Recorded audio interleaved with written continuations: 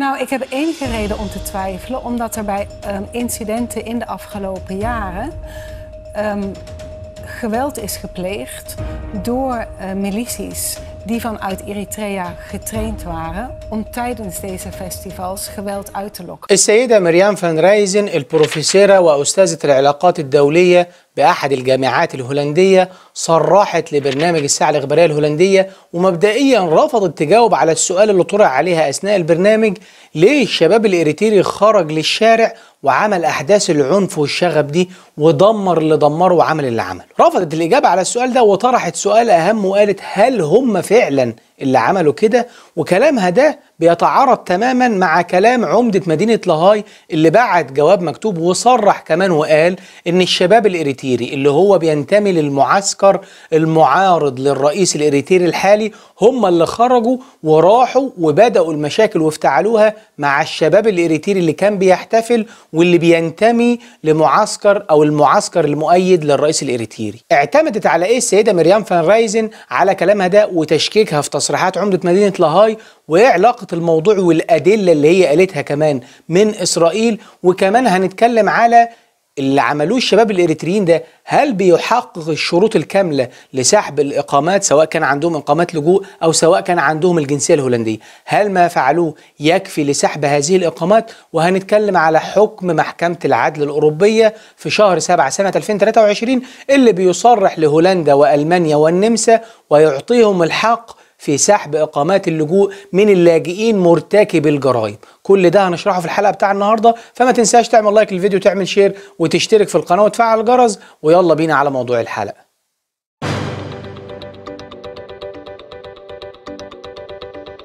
أهلا بيكم. الأول عشان نفهم سبب تشكيك البروفيسورة الهولندية في إن الشباب الإريتري لم يبدأ بالعنف لازم نبص الأول على تصريحاتها وتوضيحاتها الخاصة بالإريتريين المقيمين داخل هولندا. بتقول إن المقيمين داخل هولندا من إريتريا بينقسموا للواءين اللواء المعارض والمؤيد. المعارض اسمه لواء نحمده وده عبارة عن منظمة غير دقيقة يعني مش منظمة بالمعنى الحرفي المفهوم إن ليها رئيس وفيها عضويات وكده وده اللي بيخليك بحسب تصريحاتها يصعب عليك التمييز مين من الإريتريين بينتمي لهذه المنظمة ولا ينتمي عشان هي ما عندهاش مبادئ واضحة غير مبدأ إن هم بيعارضوا الرئيس.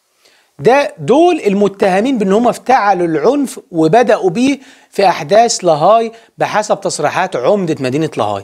اللواء الثاني بحسب التلفزيون الهولندي وتصريحاتها اسمه لواء ايرن بلات. وللجماعه اللي بيتابعونا من إريتريا لو النطق مختلف شوية معلش عشان إحنا ما عندناش مصدر غير التلفزيون الهولندي لهذه المعلومات على أي حال اللواء الثاني ده بقى اللي هو مؤيد للرئيس هو ده اللي كان بيحتفل واللواء الأول اللي هو لواء نحمده ده هو اللي جه واعتدى عليهم السيدة مريم بتقول لك هنا خد الدليل إن هي لازم تشكك في الموضوع ده.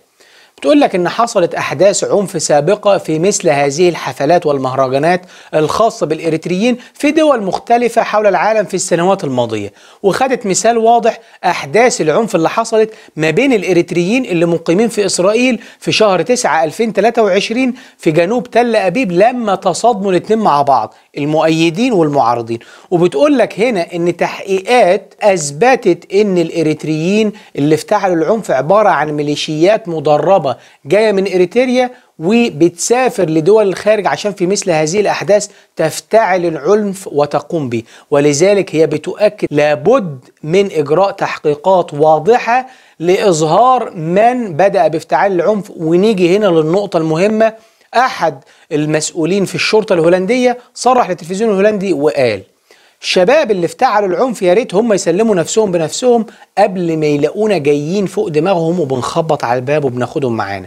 وبيشير كمان إن أي حد عنده منزل في محيط المنطقة اللي حصل فيها الشغب وأعمال العنف والحرائق والاعتداء على الشرطة في مدينة لاهاي يوم 17 2 2024 لو حد ساكن هناك وعنده كاميرا يا ريت يفرغ محتوى الكاميرا ولو حد عنده موبايل صور بيه أو عنده أي إثباتات سواء صور أو مقاطع فيديو يبعتها على الرابط اللي أنتم شايفينه قدامكم ده بكل بساطة والشرطة هتستلمها أو يتصل لو عايز يتصل وما عندوش مثلا مواد زي الصور أو الفيديوهات ولكن كان معدي بالصدفة بسيارته وليه شهادة معينة عايز يدلي بيها يقدر يتصل على الرقم اللي ظاهر على الشاشة ده ويبلغ الشرطة الهولندية بالتفاصيل اللي هو عارفها عشان يساعد الشرطة تصل إلى حقيقة الأمر.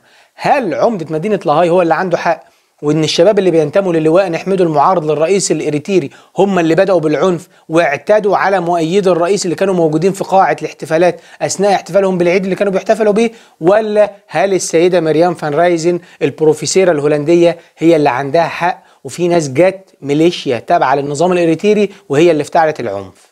بنيجي هنا لأولى التصريحات اللي خرجت من النيابة العامة الهولندية بخصوص أحداث لاهاي يوم السبت 17 2 2024 واللي قالت فيها النيابة إن بناء على تحقيقات أجريت يوم 15 2 2024 قبضوا على رجل إريتيري من روتردام يوم 16 يعني قبل الأحداث بيوم طب الراجل ده عمل إيه؟ بيقول لك إنه نشر فيديو كانوا بي كان بينادي فيه وبيحرض فيه على العنف ضد الإريتريين اللي كانوا رايحين يحتفلوا يعني قبل ما الموضوع يحصل أساسا كان هو بيحرض ولذلك تم القبض عليه.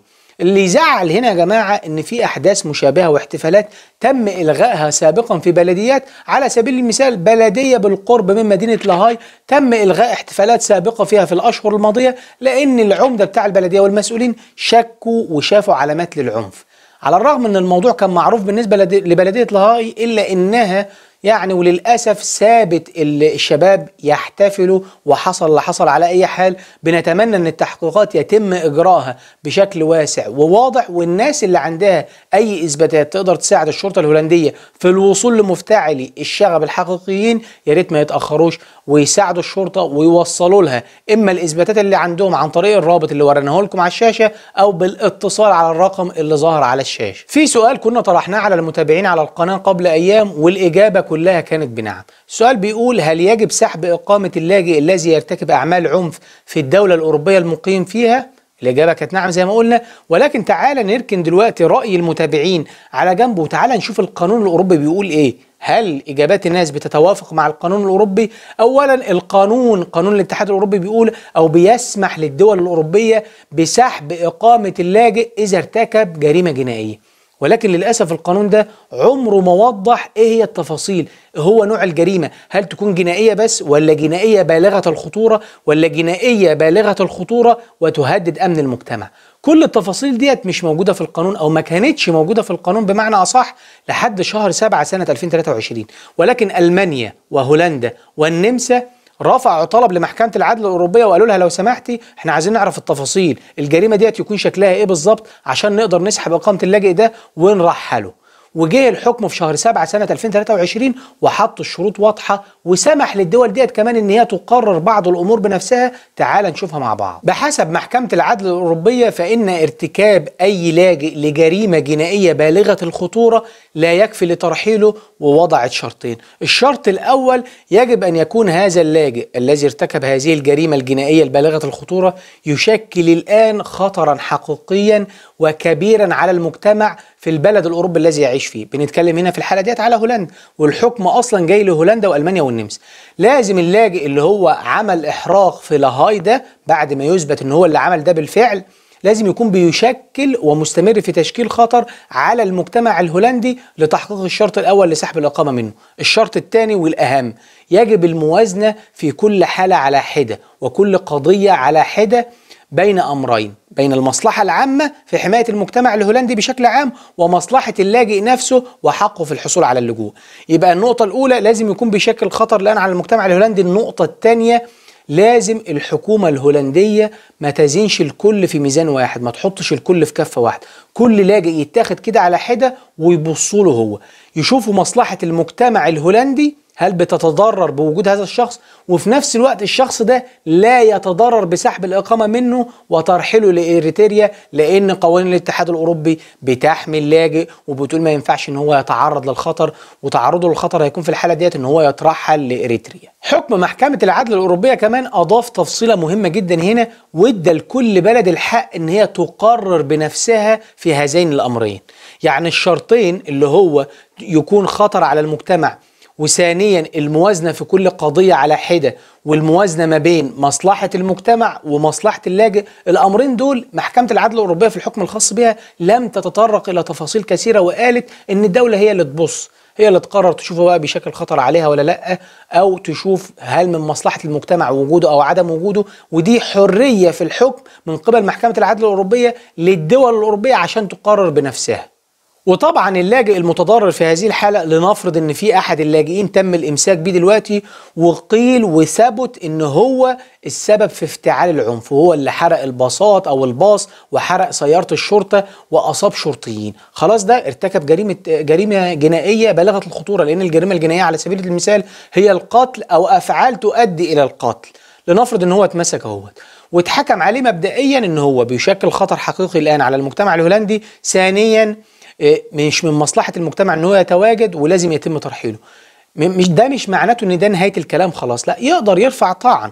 وممكن الطعن ده يروح من محكمة ابتدائية هولندية لمحكمة عليا هولندية لمحكمة العدل الأوروبية نفسها لأن المحاكم ديت إن لم تنصفه ليه الحق إن هو يستأنف لحد محكمة العدل الأوروبية نفسها اللي هي أصدرت الأحكام دي.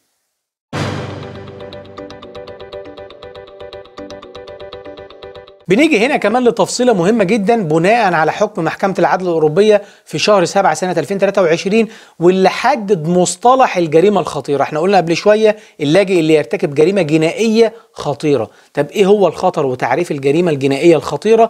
اتحدد بأربع نقاط في حكم محكمة العدل الأوروبية. أولا بيتم النظر لحجم العقوبة المفروضة. ثانيا طبيعة الجريمة المرتكبة. ثالثا هل ارتكبت عمدا؟ رابعا طبيعة وقوة الضرر الناتج عن الجريمة. لما الأربع نقاط دول ينظر فيهم وتكون الإجابة بنعم ساعتها بتكون جريمة خطيرة. ولا يتم النظر لعدد الجرائم الصغ... الجرائم الصغيرة التي ارتكبها الشخص ويتم تجميعها كده ونقول إيه ده ارتكب قبل كده 10 سرقات. إيه ده 10 ده كتير جدا معناته إن هو خطر. لا لا تقيم الأمور بهذا الشكل بناء على حكم محكمة العدل الأوروبية ولكن تقيم فقط بالأربع نقاط التي ذكرناها. طيب إحنا كده جاوبنا على السؤال الخاص بسحب إقامة اللاجئ. لو فرض إن اللي ارتكب أعمال العنف ديت وتسبب فيها مجموعة من اللاجئين اللي لسه عندهم إقامات لجوء طب لنفرض إن هم أصلا من الناس القديمة من إريتريا اللي جم لهولندا ما بين سنة 83 وسنة 91 أكيد الناس ديت بقى لها أكتر من 30 سنة في هولندا وأكيد عندهم الجنسية الهولندية. يبقى هننتقل هنا لنقطة إيه؟ إلغاء أو إسقاط الجنسية الهولندية وده غير سحب الجنسية الهولندية. سحب الجنسية الهولندية يا جماعة أصبح ليه قانون جديد معدل عليه وحتى لو سحبت منك تقدر إن أنت ترجعها وده هتلاقيه في الفيديو اللي قدامك ده على الشاشة واللي هيتنشر بعد شوية من نشر الفيديو اللي إحنا بنتكلم فيه ده وهتلاقيه بالشكل اللي أنت شايفه ده على الشاشة وهتلاقي الرابط الخاص بيه كمان في وصف الفيديو تحت الفيديو ده تقدر تتفرج عليه. ده ملهوش علاقة بارتكاب الجرائم والعنف ده ليه علاقة بحاجات تانية خالص وليه استثناءات وحتى لو سحبت منك تقدر في بعض الحالات أو في معظم الحالات إن أنت ترجعها وفي تعديل عليه خاص بسنة 2023 و24 تعال بقى نشوف لموضوع ارتكاب العنف إن هي هتلغى أو تسقط يسقط الجنسية عنك دائرة التجنيس والهجرة الهولندية تسقط عنك الجنسية بشروط تعال نشوفها مع بعض. دائرة التجنيس والهجرة الهولندية نشرت الآتي على موقعها يمكن إلغاء الجنسية الهولندية إذا تمت إدانة شخص ما بشكل نهائي في هولندا. ولما نقول نهائي معناته أن من الحكم الأول ممكن يتم الاستئناف عليه. إذا أصبح الحكم نافذ ولا يجوز الاستئناف عليه ده اسمه النهائي. ولكن تعال نشوف إيه هو الحكم أساسا وهيكون ضد مين. اولا أي شخص يرتكب جريمة إرهابية وده جه في جه في المادة 14 الفقرة 2 من القانون الخاص بإلغاء أو إسقاط الجنسية الهولندية عن شخص ما ويتعلق ذلك تحديدا بثلاث حاجات. واحد الجرائم الإرهابية المنصوص عليها في الدستور الهولندي. اثنين القتل لغرض إرهابي المشاركة في التدريب على الإرهاب أو تعلم صنع المتفجرات وتجنيد أشخاص لصالح منظمات إرهابية. كل دي حاجات هتؤدي إن هم يسقطوا أو يلغوا جنسيتك الهولندية.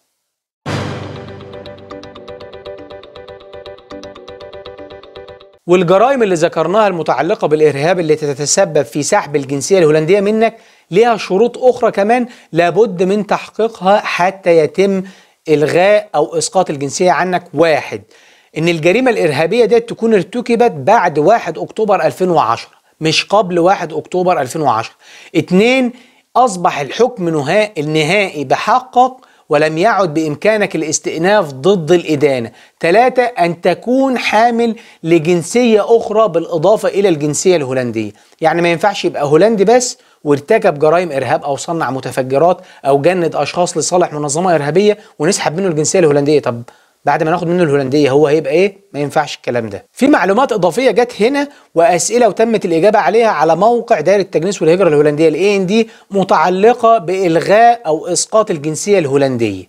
بتقول لو شخص حضر لأعمال إرهابية الشخص ده تتم سحب منه الجنسية الهولندية فقط إذا كان الكلام ده بداية من يوم 31 3 2016 أو بعده. وبنيجي هنا لنقاط وشروط تمنع سحب الجنسية الهولندية حتى ولو تم ارتكاب كل ما ذكرناه.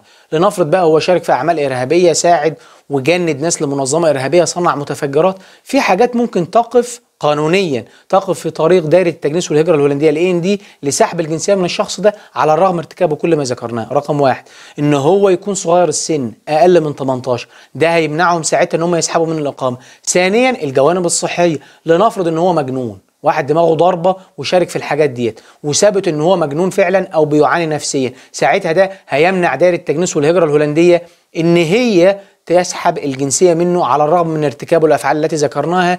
ثلاثة ودي الأهم أفراد الأسرة الذين يعتمدون بشكل خاص على الشخص المعني. مفيش تفاصيل كتيرة هنا ولكن ممكن نفسرها لنفرض أن الشخص اللي هتتسحب منه الجنسية ده بيرعى حد مريض أو بيرعى حد معاق. ممكن ساعتها ده يقف في طريق سحب الجنسية. ما تنساش المثال اللي أنا ضربته ده من عندي أنا بحسب فهمي أنا لأن الشرط ده لم يتم توضيحه بمثال واضح.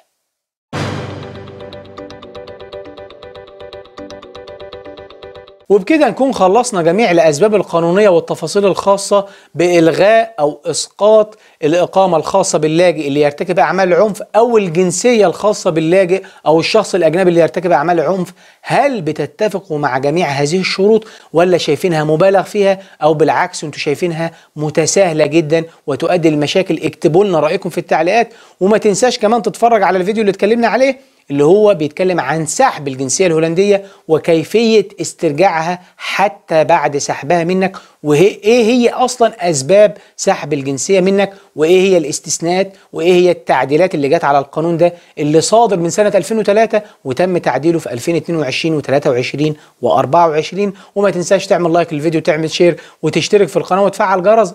اضغط share على الفيديو وابعته لكل أصحابك عن طريق الماسنجر على الفيسبوك. أو على الواتساب لكل المهتمين عشان نصل أكبر عدد من المتابعين وانتظرونا في فيديوهات تانية جاية. سلام عليكم.